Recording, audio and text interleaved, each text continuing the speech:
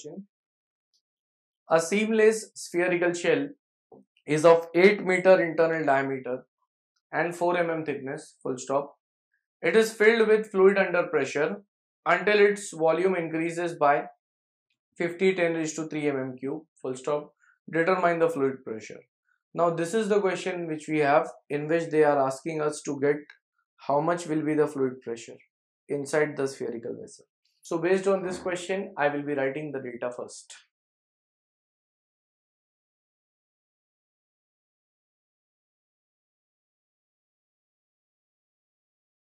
Given data, in that first mention the type.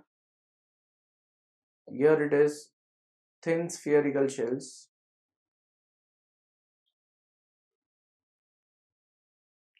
It is given in this question a seamless spherical shell is of 8 meter internal diameter and 4 mm thickness. So you can compare the diameter with thickness. Diameter is 8 meter that is 8000 mm and thickness is just 4 mm. So you can see here the spherical shell. Next, it is filled with fluid under pressure and its volume increases by 50 10 raised to 3 mm cube. So this is the change in volume. Question is determine the fluid pressure. So we have to find out how much will be the fluid pressure. As usual, we have to draw the spherical shell when it would be breaking into two halves.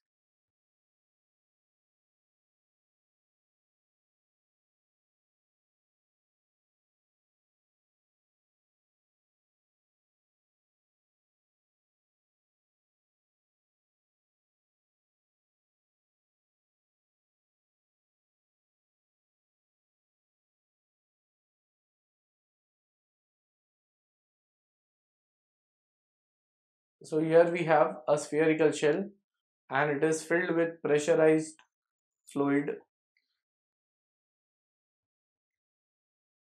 Now here we have to find out what is the value of internal pressure of this fluid. I will say that in the solution since change in volume is given first I'll say that let V is equal to original volume of spherical shell in mm cube. So therefore V we know that the formula for calculating the volume of spherical shell it is 4 upon 3 pi r cube.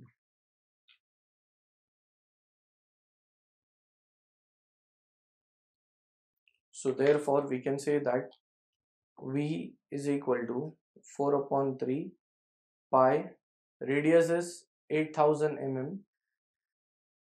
So from this we will be getting the value of original volume. I have my answer as 268 into 10 raised to 9 mm cube so here I have the original volume and this is my change in volume. So after this I will say that therefore volumetric strain is given by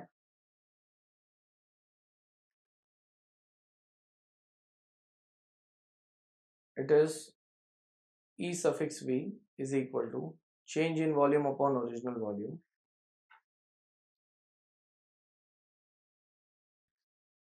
So therefore volumetric strain is equal to change in volume it is given in the question 50 into 10 raised to 3 original volume we have just now calculated 268 into 10 raised to 9 so from this volumetric strain value is I have my answer as 186.5 into 10 raised to minus 9 I will keep this as my equation number one.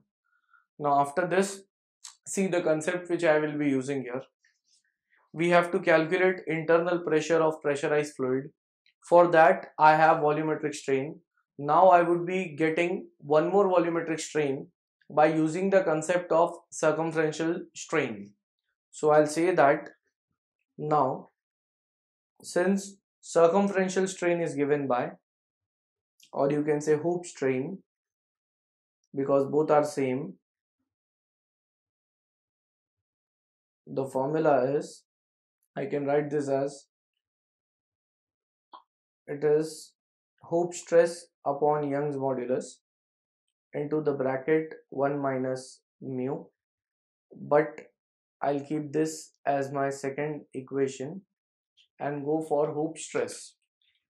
After this I'll say that also Hoops stress is given by it is PD upon 4T